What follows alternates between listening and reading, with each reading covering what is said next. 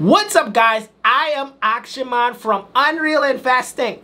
Go ahead and give us a follow on YouTube and Twitter because we break some of the hottest news that's coming into cryptocurrency that can help you, yes you, grow your portfolio ASAP. So I'm here with the Crypto Lifestyle Farm and in this video we're going to discuss Theta's Mainnet 3.0, its new fourth, yes, fourth patent.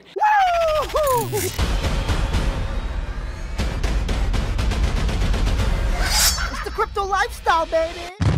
So I'll be real with you guys. I can't be anything except real. I think Theta and T-Fuel is presenting some of the best opportunities for some short-term gains for all of you traders out there. And for you long-term holders, this is going to be like a safer play because I believe Theta and T-Fuel is going to be around for a super long time. And I'm going to explain why I think we're on the cusp of something that's going to be extremely, extremely great. So I'm going to start with a quick market analysis of course, almost everything has been bleeding out. Like literally everything. But a few coins have been holding on very strong. T-Fuel and Theta, they've been doing relatively well.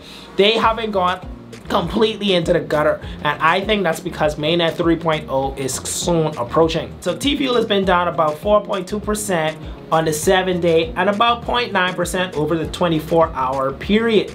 We dropped down from the 30th spot all the way down to the 38th spot. At Theta at the time of recording this is priced at around 7 bucks. On Theta Explorer we can see that the total percent of all Theta stake is 61% showing that the circulating supply is shrinking less and less every day. So Theta and T-Fuel is still looking pretty good and I know a lot of my American friends have been complaining that they are very interested on getting their little fingers on some Theta and T-Fuel but it's been extremely hard getting them on some of these exchanges.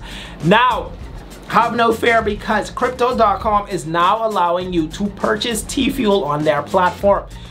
Still no Theta as of yet, but if it's any consolation, at least you can get T-Fuel before the main net kicks off. I believe that Crypto.com opening up their platform to Americans being able to buy some T-Fuel is going to greatly help our 24-hour volume. This is going to allow more persons to come in, purchase T-Fuel, and potentially actually push this price to our targets for mainnet 3.0, which I'll discuss at the end of this video. So make sure y'all stick around to hear what those are. So Yes, all of you Americans are now officially able to purchase your T-Fuel on Crypto.com except you guys in the state of New York, you, you're, you're gonna have to figure something out.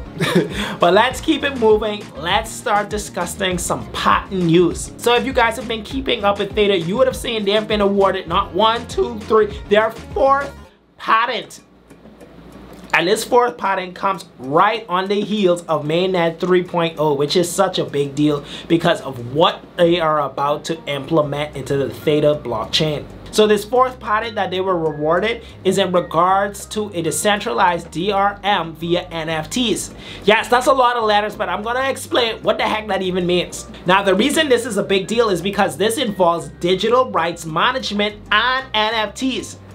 Okay, I'll further explain because y'all don't understand this is a big deal. See, y'all don't get it yet, but I'll further break it down. So during the whole NFT craze, everybody was just spewing out what the definition of an NFT is, non-fungible token. And a lot of persons thought they're only good for two things, digital art and collectibles. I mean, this is true, NFTs are good for these purposes, but you could do so much more with these things. I'm talking about NFTs can be used for real world assets and even intellectual property. So let's further break down exactly how Theta plans to use this new patent. So Theta made a statement that this technology has massive applications for managing rights across a number of domains including live performances, concerts, and other ticketed events that require authentication which can be managed via an NFT you're starting to understand the different ways that you can actually use an NFT. So let's continue. These NFTs will provide true digital ownership by the user which cannot be taken away from them. More importantly, one major friction point for content right holders to use decentralized video streaming is concerns over their content rights being violated, as they require strong guarantees that a peer-to-peer -peer network won't be used to infringe on their content rights or that of any of their artists. By using NFTs to implement decentralized DRM, Theta Network solves this issue for content rights holders in a way that does not require a centralized party to authenticate users each time data is streamed. This opens the door for global content brands to safely bring their videos, movies, and games to Theta's decentralized data and video streaming network. Now, let me ask you guys, who do you know who is able to come into this space, this decentralized streaming space, and compete with Theta? Who do you know? Ain't nobody messing with Theta in this realm. This is some big money that Theta is about to enter the arena with, and there are no competitors in sight. I'm looking left, I'm looking right, and only Theta can guarantee, hey guys, when you put your content on our platform, nobody can come on this and pirate it. That is huge, bro, because nobody else can stand up and say, hey, we do this as well. So I can see Theta actually cornering this market that they are starting to create themselves.